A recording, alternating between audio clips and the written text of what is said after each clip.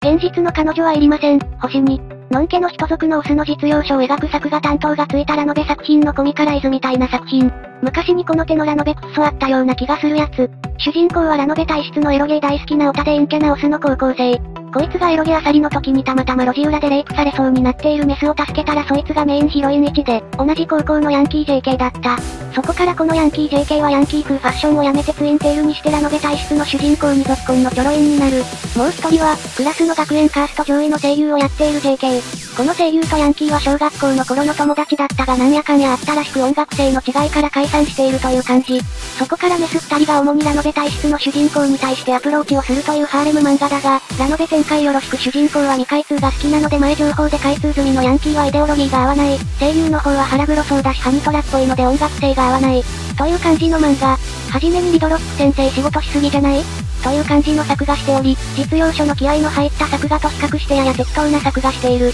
次にこれはネタバレではなく、おまんじゅうたちの予測なのだが、ヤンキーは開通済みという噂は噂でしかなく実は未開通でしたという感じでないとないだろうと思われるシナリオしている。この漫画がいわゆるラノベ風のファンタジー漫画だし、主人公も前半で買ったエロゲのキャラが開通済みなんてパッケージ詐欺だと言っているし何よりもカンナギ騒動以後のラノベ作品でこの手の疑似恋愛ファンタジー漫画作るならラノベ作家が同じ鉄を踏むなんてことは非論理的だからなのぜ。しかも関数も10巻以上伸びているしね。何が言いたいのかというと本格推理小説とかに出てくる探偵役が中古かどうかなんて大事な要素じゃないんだよね。推理小説を買うメインターゲットはそこを狙ってコンテンツを買いに来ていないからなのぜ。アイドルとか恋愛ラノベとかの場合は、お客さんは中古であるか？表面上彼氏彼女がいないか？という部分のコンテンツを買いに来ているので、商売する側としては未開通ですや彼氏彼女がいても表面上はいませんというのがニーズとウォンツがマッチした状態だよねって感じ。客商売なんだからメジャー目指したい、大金稼ぎたいならニーズに応えるのは合理的な判断だという話なのぜ。ためになった、